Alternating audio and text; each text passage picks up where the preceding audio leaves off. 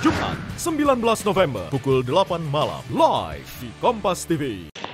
Setelah menjalani masa hukuman dan dinyatakan bebas dari lapas perempuan kelas 2 Akrobokan, Peter Lois Mack diserahkan ke kantor imigrasi kelas 1 khusus TPI Ngurah Rai untuk tindakan administratif keimigrasian. Louis Mack ditempatkan di rumah detensi imigrasi Denpasar untuk menunggu pendeportasian sejak 29 Oktober hingga 2 November 2021.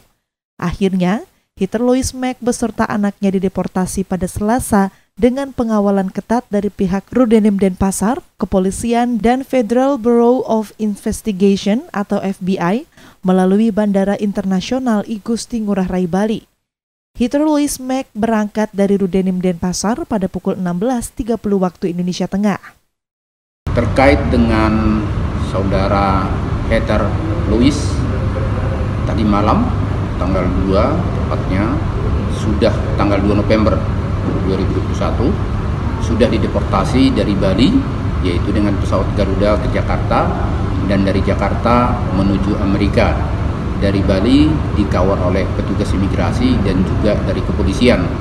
Nah, dari Jakarta terbang menuju Chicago, transit di uh, Incheon, Korea dengan menggunakan uh, pesawat Delta Airlines.